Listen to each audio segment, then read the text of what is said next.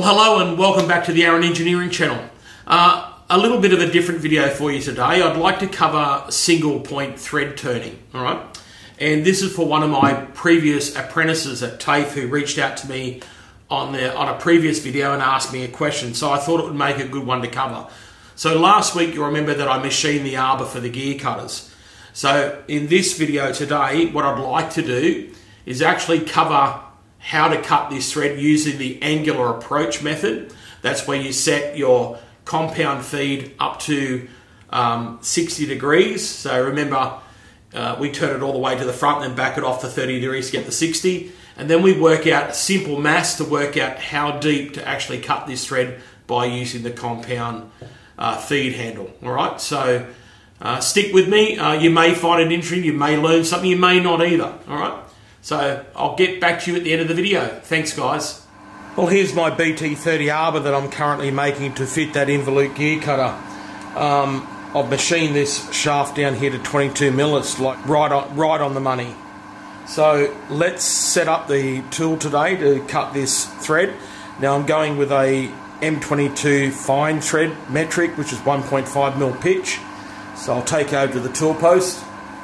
Now this is a Dorian quick change tool post which I got, which I purchased from Arthur at Live Tools. Uh, I'm in love with it. It's the duck's gut, so to speak.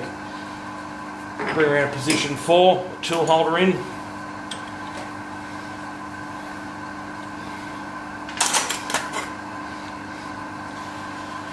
Now today I'm running a ISCAR threading bar, uh, you know, OD turning bar I should say. Um, I'm running a PAL bit insert.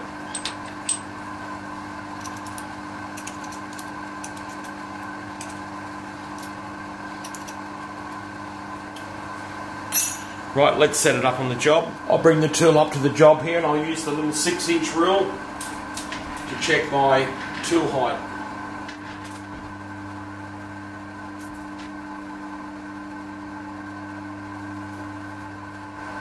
You see my steel rule is slightly off a little bit. I'll just adjust that. Now when threading this today I'm going to be using the angular approach method. So therefore I need to set my compound slide up to the 60 degrees. Now some do it at 59 degrees, whatever tickles your fancy. Drop off my two adjustment bolts here. Now when you do this, remember it's you've got to apply half that, so go to your 90 degrees first. Okay, and then I'll come back 30 from that, which will give me 60 degrees under here.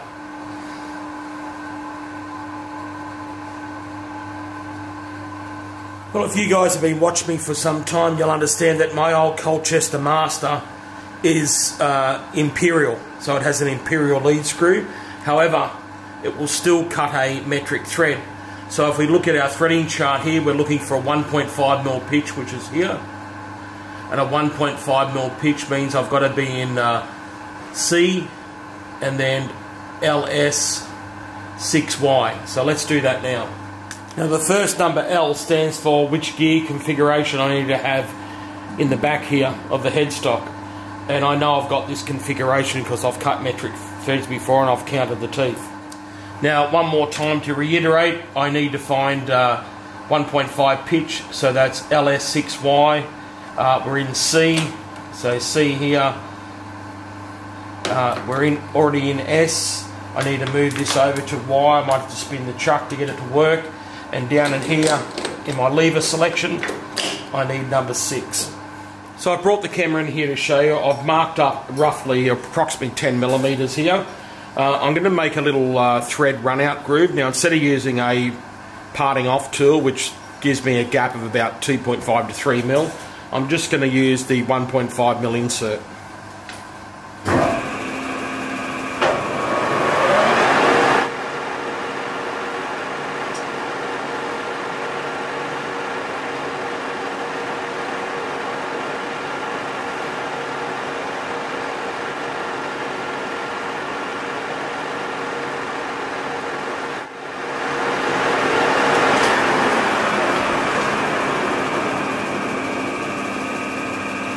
And I was very cautious doing that as that, that was the last 1.5 um, mil pitch insert that I've got. So I want to be careful I didn't break that doing that, so I just took my time. Right, so what we're going to do now, we're going to paint this surface.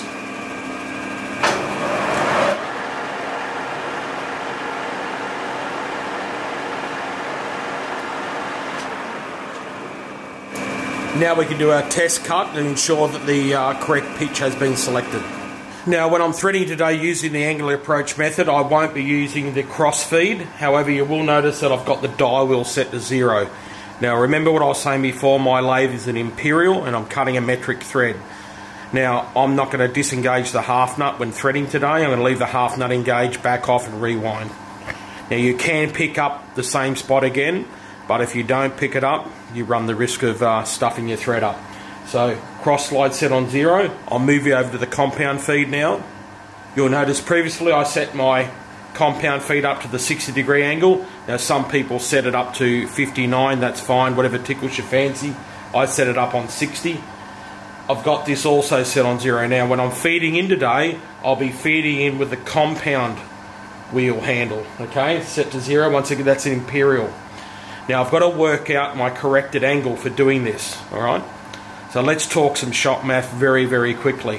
When I look at my Kenwell's manual, my little book here, and I look up a 22 mil thread uh, with 1.5 mil pitch, I know the major, uh, basic major diameter is 22 mil.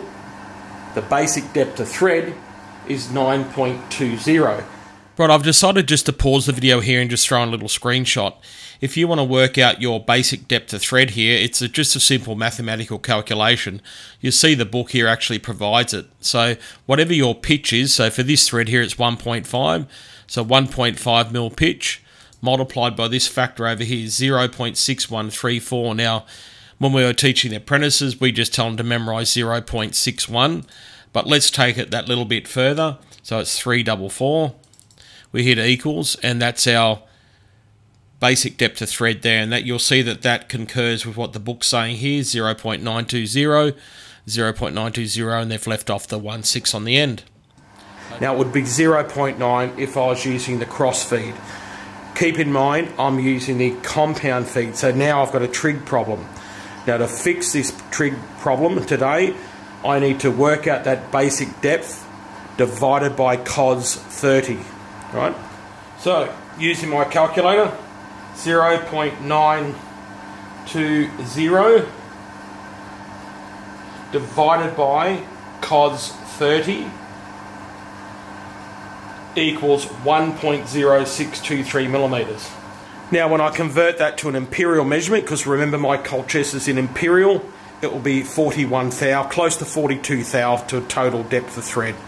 I have got a nut coming in the mail. I'm just waiting for it to arrive, which I could test. So I'll probably pull up a little bit shy of that and uh, test it with a nut.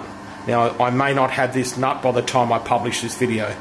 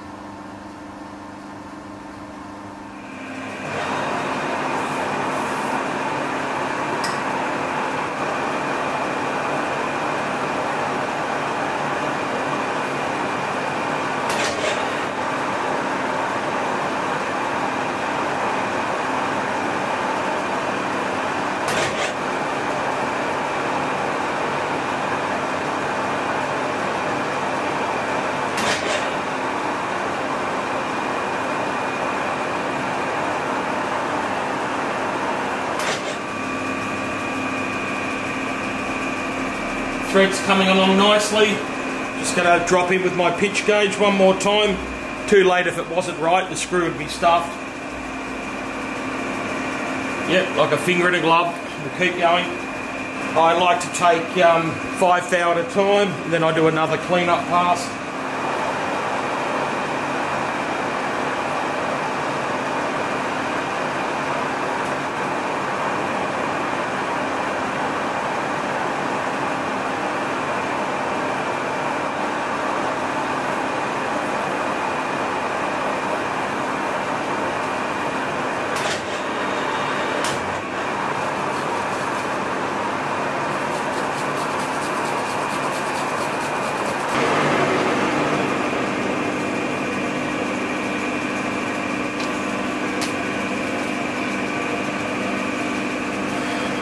Well, hopefully you're still sticking here to the end of the video. Um, it helps with the watch count helps, as you know, on YouTube, helps get your video promoted. Um, I hope you enjoyed the single point threading today of this M22 by 1.5 uh, fine pitch thread. Um, I hope you learnt something as well uh, using the mass, how to use the angular approach method, and how to do the corrected angle, the length of that. Um, so this video today was for my previous student uh, at TAFE. Uh, I, I, probably only taught him for about six months before I left the TAFE and went back to the secondary department. Um, his name's Phuntsok. Now, Phuntsok comes from Tibet, I believe, or something like that. And uh, the poor bugger, he, he, risked everything to escape his country and, of course, uh, persecution.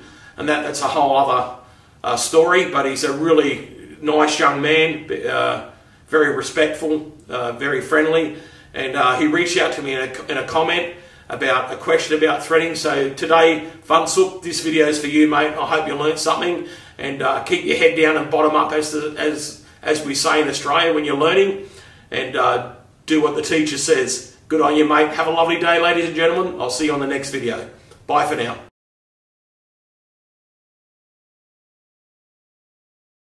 Now, when I'm doing the threading here today, you'll notice a couple of things. I've got my cross feed set to zero and I've just stuck my little six inch rule here with a couple of magnets. Now I have a gap here. So every time that I wind off to clear that when I run into the thread groove or the run out groove, um, I can come back and I know I don't get confused so I know where I, my start position is again. I don't have a digital readout on this lathe. So this is a little, little handy trick, you know, you could put a pointer on there or something like that and it's roughly flush. Now if I'm one turn out, you'll see it.